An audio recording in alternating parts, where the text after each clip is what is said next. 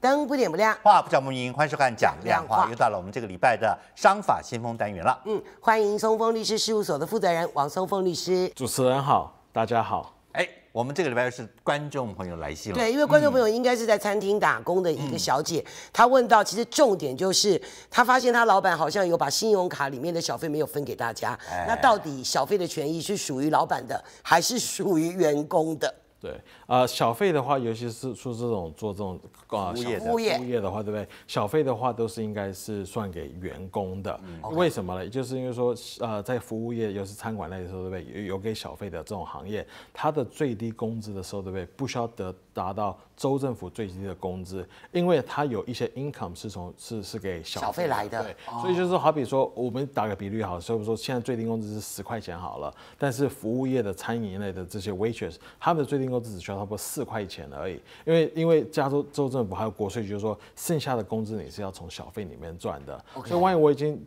已经损失了最低的工资了，然后小费又被拿走了，对对对，就当然不平衡了。这个是所谓的有立法根据，还是说我们今天可以 case by case，就是我们今天员工跟餐馆老板商量好？对，呃，假如是员工可以跟餐馆老板商量好，假如是说啊、呃要个拿个百分比抽成，或者是说怎么分，大家怎么分好，比如说呃 waitress 跟厨师跟 bus boy 这样子大家分分好，然后是可以讲，这不是个法律，没有法法律说哦 waitress 不需要拿百分之五十，bus boy 拿百分之二十哦，。没有明没有文规定。没有没没有规定，这就是必须要讲好，但是不能的就是说啊、那个老板全部拿走，老板全部拿走，而且又不帮忙的话，如果老板在这个店里面，基本上又不是厨师，又不是 waitress，又没有做任何的事，基本上他可以拿吗？呃，不，他不可能拿了嘛因为他没有劳动的付出嘛，对对不对？对？OK，如果当然就是这个是差别的啦。是。OK 那如果碰到这种情形的话，因为照这个投诉来讲呢，他觉得第一个怕麻烦，第二个他又怕这个老板报复，呃如果他真的告他申诉。对那这个有没有一些特别的管道可以帮助这些比较弱势族群说啊，什么就是我的权益被侵犯了？对，所以呃，加州的话，呃，对，蛮好的，就是说他对劳工是非常保护的，对对对。所以就是说，你万一今天是个劳工，然后你你觉得你被你的老板给欺负的话，对不对？你其实不需要找律师的，因为你可以去劳工局申报啊他们。对对对这个劳工局的话，对不对？他是不需要律师的，因为因为你不可能说你你才被拿几几百块钱，你花律师要请几万块钱。对，所以第一个第一个可以做的就是说去劳工局去检举这样子。那这个劳工局他罚他会罚钱，他会假如是说判判下来的话，对不对？他会罚罚老板钱，对对对，而且他们罚老板的话，对不对？是把啊、该给的工资加上一个利息，再加上一个罚金罚金这样子。损失就比原来要赚的多了。OK，刚刚王律师在前面讲到说，像餐馆这样子的服务的从业人员，嗯他的基本薪资是可以不用付到现在的十块半。嗯，那这个是。呃，会也一样，是我可以跟老板商量好，说好，那我同意基本薪资就拿多少，还是在政府有一个政令说你也不得低于多少。呃，就是说政府的规定就是说有个 minimum wage 是给大家的，那有另外一个是呃给服务业。呃给服务业就是哦，专门对服务业，对对对对，所以就是好比说一个餐馆的话，对不对？只有 waitress 或是 bartender 可以有这种这种 minimum。那好比说你是做前台的 hostess 或者是做后面的厨师的不可以。你就不可以了。对对 OK，哦，只有 waitress 跟对对，就是说你你你你的你的 minimum 就是 wage 要跟客人有直接接触有 tips，就是你是收入来源有收入有小费来源的。对对对。OK，那懂。那可是我知道有些餐馆，特别是日本餐馆是不要，他们自己本身不收小费的。是那这个如果说在这个服务上面来讲，嗯那有没有说呃有规定说呃老板要补贴，还是什么样的一个方式？没有，因为今天万一是说是一个日式餐厅或者是任何餐厅是不收小费的话，对不对？就代表说他的一开始的 salary 就已经不错了，是 hourly wages 已经不错了，所以他觉得说他不需要去去做任何的这不一样的东西，然后去去赚那些小费，这样子。所以就是说你不不一定是说你一定是在餐饮类，你就必须要给给小费，嗯，这样子。不过我觉得做员工的啦，就是说有的时候你说真的到劳工局去起诉，刚刚这个小姐也担心说对她会不会被报复，将来就没有工作了。对其实我觉得老板们也聪明一点，因为你真的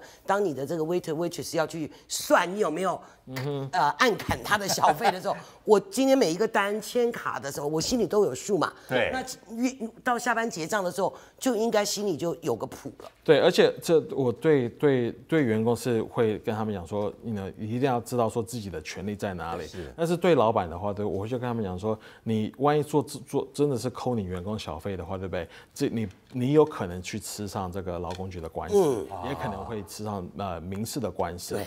但是最不好的话，对不对？对你对你的声誉会非常的不好，对你的声誉对，而且就是说我我以我们的经验的话，对不对？万一说有劳工来投诉这家餐馆，尤其是服务业的话，对不对？这家餐馆它的它的它的服务品质一定不好。不好，对因为因为我们会，我们就我们的 study 就会觉得说，你万一是个消费者去这家餐馆的话，对不对？他这个他这个呃，你的 tips 全部都被老板拿走，那脸都臭臭的。员工一。定情绪不好。对啊。对对对对对啊。对对对，所以所以所以所以老板也是要要要注意一下。不过。讲到员工福利，那我现在跳开话题，就比如说新生餐馆，那我说一般的行公司行号，那我们都知道有所谓的 bonus，对。所以年终，对。有没有明文规定说公司赚钱一定要发年终或者 bonus 给员工，还是不一定不一定，这这没没法律上没有规定，法律上没有规定的。法律上没有规定有啊？不能今天那个公司赚钱了，哎，那如果要问这个，我还可以问一个说，那像我们大的 party，对。去人家餐厅，他要不然就随便就直接收你十八趴，对。你就六个人以上，我就是十八，他可以做这件事吗？他可以，他可以直接收你 eighty percent，直接放你 bill 上面。对。但是你也可以，你也我不要给。你可以，你可以给他划掉，说我就不给你。因为我不知道可以划掉、哦以。因为我都觉得 他要求了，我就意思啦。但是如果服务不好，像你刚刚讲到如果服务不好，我为什么要付十八趴？对对对其实，相对就是说，其实也没有明文规定说我们今天顾客一定要付小费嘛。没有，没有，对啊。没有，对对对。对，付小费是是因为他的服务好，你想要你的奖赏这个 waitress 或者是是 waiter，你才给他小费，对，所以好比说你六个人，你十八个人，甚至你你 however many people 对不对？你要来的话，对不对？万一餐馆直接给你加上一个 eighteen percent 的话，对不对？你是可以拿掉的，你你可以这说我不愿意给这么多。你可以对，你这对啊，因为我就之前服务不好，我就还真的跟老板说啊，这样子哦，我以为你可以要可以跟我要更多哎，你为什么只跟我要十八？对啊，对啊，对，好，那我觉得还有其他的服务业，比如说导游，嗯哼，啊，比如说什么，脚底按摩的，对，按摩师，按摩师。那个也都没有说明文规定一定要给。